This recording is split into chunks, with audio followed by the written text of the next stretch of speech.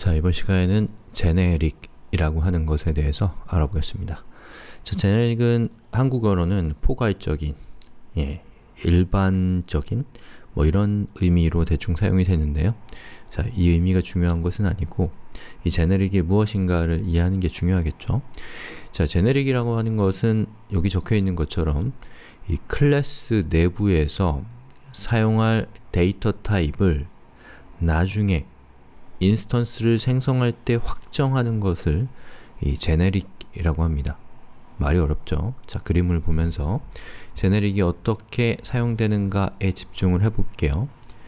자, generic이라고 하는 것은 마치 method 안에서 매개 변수와 상당히 비슷하게 동작할 수가 있는데요. 이 매개 변수라고 하는 것은 어떠한 변수에 들어갈 값을 어, 값과 관련되어 있는 건데 이 제너릭이라고 하는 것은 그 변수의 데이터 타입과 관련되어 있다고 생각하시면 될 것 같아요. 자, 무슨 말이냐면 어, 여기 보시는 것처럼 제가 person이라고 하는 클래스를 이렇게 지정을 했습니다. 그리고 그 person 뒤에는 마치 method의 매개 변수가 시작되는 곳이 괄호로 시작하고 괄호로 끝나는 것과 비슷하게 이렇게 다이아몬드라고 하는 꺽쇠로 시작해서 꺽쇠로 끝나고 그 안에 t라고 하는 어떠한 문자가 나타납니다. 자, 이 문자는 무엇이냐면 이 문자에 해당되는 코드, 즉 이 person 안에서는 바로 이 t라고 하는 녀석이죠.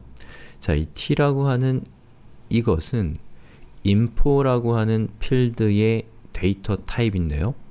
제가 이 person이라고 하는 클래스를 정의하는 시점에서는 이 info의 데이터 타입을 명시적으로 지정하지 않고 있다가 이 person을 실제로 사용할 때, 다시 말해서 인스턴스화 할 때 보시는 것처럼 이 다이아몬드 꺽쇠 안에 제가 string이라고 하는 구체적인 데이터 타입을 언급하면 그것이 이렇게 쭉 따라서 어디로 가나요? 바로 여기로 오는 것이죠. 그러면 이 t는 string이 됩니다.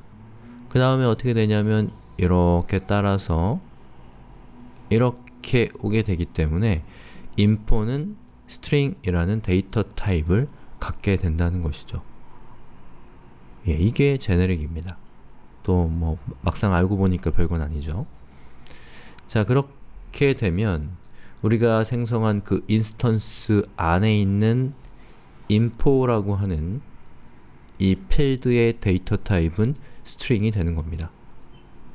자연스럽게 그렇게 만들어진 어, instance를 담아낼 수 있는 이 p1이라고 하는 저 변수의 데이터 타입은 예, 바로 방금 우리가 생성한 instance의 instance의 데이터 타입과 정확하게 일치해야 되기 때문에 예, 이 p1의 데이터 타입 역시도 예, person 뒤에 string이라고 하는 데이터 타입이 똑같이 지정이 돼야 된다는 겁니다. 즉, 다시 말해서 우리는 이렇게 생긴 클래스 말로 다시 풀어보면 info라는 필드가 string이라는 데이터 타입을 갖는 클래스를 생성하는 것이기 때문에 당연히 그 p1이라고 하는 이 변수 역시도 그러한 클래스여야 된다라는 것이죠. 그래서 이 부분과 이 부분이 같은 쌍을 이루게 되는 겁니다. 자 그러면 밑에 있는 걸 한번 볼게요. 자 이번에는 new person을 하는데 자 이 person이라고 하는 클래스 뒤에 string builder라고 하는 어, 데이터 타입이 왔죠. 그럼 이 데이터 타입은 요걸 쭉 따라가서 보면은 얘가 t로 지정이 되고 자, 당연히 이렇게 돼서 이렇게 되니까 이때는 info라고 하는 저 필드의 데이터 타입이 string builder가 되는 것이죠. 자, 그런 데이터 타입으로 우리가 instance를 생성하기 때문에 그 instance를 담을 변수 역시도 그러한 데이터 타입이어야 하기 때문에 이렇게 얘와 얘가 똑같은 형식을 갖게 되는 겁니다. 어때요? 변수와 좀 비슷하고 왜 이런 걸 하는가라는 느낌이 드실 수가 있습니다. 자, 그게 일종의 원리 또 이유라고 할 수 있는데요. 왜 우리가 generic을 사용하는가에 대해서는 곧 살펴보니까 조금만 참으세요. 자 그럼 한번 코드를 보죠. 자 여기 있는 이 코드는 어, 뭔가를 간략화시킨 코드입니다. 자 원래는 이렇게 생긴 코드예요. 자 보시는 것처럼 어, 메인 안에 방금 설명드렸던 이 두 개의 코드가 위치하고 있고요. 그리고 메인 바깥쪽, 이 generic demo라는 클래스 바깥쪽에 자 이렇게 생긴 어, 클래스 정의부가 있어서 우리가 이렇게 해서 이렇게 해서 두 개의 데이터 타입을 만든 거죠. 그 두 개의 데이터 타입의 차이는 하나는 info가 string이고 또 하나는 info가 string builder라는 차이가 있는 것이죠. 아시겠죠?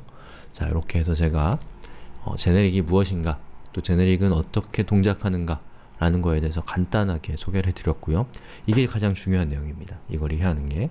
그 다음 동영상에서는 왜 라고 하는 것에 답변을 드리겠습니다.